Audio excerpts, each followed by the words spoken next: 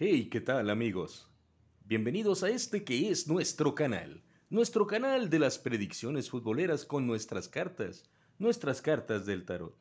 Primero que todo, discúlpame.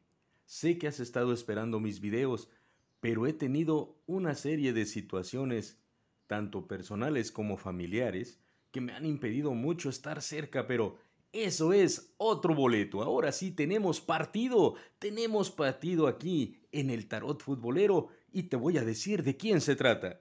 Es el Everton contra el Manchester City para jugarse el día 14 de mayo, domingo, a las 7 de la mañana. Así que controla tus chakras, calma tu mundo y espera esto, esto que voy a decir para ti. Espero que sea, que sea lo que necesitas. Adelante entonces, parto mis cartas, ya sabes, porque esa es parte de nuestro trabajo.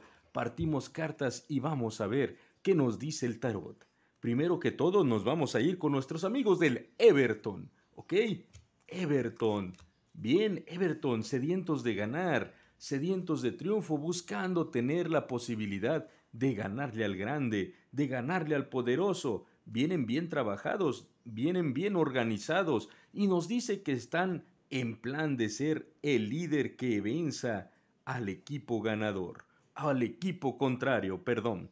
Y nos dice, aquí solamente hay un detalle. Nos habla que tienen un ermitaño. ¿Qué sucede? Que dentro del trabajo en equipo hay uno que se dedica a hacer sus actividades, trabajos, no sé cómo se diga, jugadas, y trabaja solo. Cuando este que trabaja solo aprenda a trabajar en equipo, un Everton diferente será. Así es.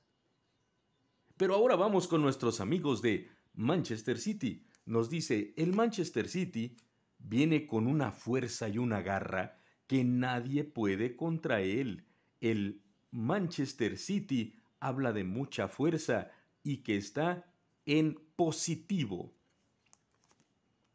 Nos dice, traen mucha energía y hay una personita, un alguien de ese equipo que realmente está cuidando lo importante que es ganar. Quiero pensar que es su portero porque me habla de un portero bastante bueno y me dice que ellos no vienen a buscar sueños, ellos no están pensando en dejar las cosas a medias, vienen a ganar.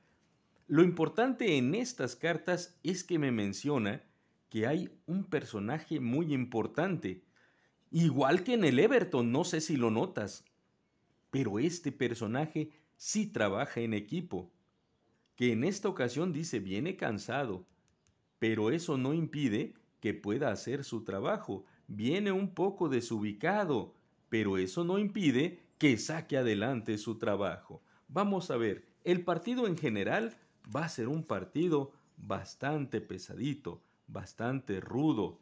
Dice que va a haber jugadas polémicas, que vamos a tener un juego polémico en este partido y que una persona, un ser o un árbitro podría ser, va a jugar chueco dentro de este juego. No quiero pensar que hay chuecuras, pero sí te puedo decir que va a haber decisiones muy importantes en el partido que le pertenecen al árbitro y esto significa que va a haber mucha tensión. Y ojo, el partido no trae buena estrella. Quiere decir que este partido no es entre amigos ni entre conocidos buena onda, ¿eh?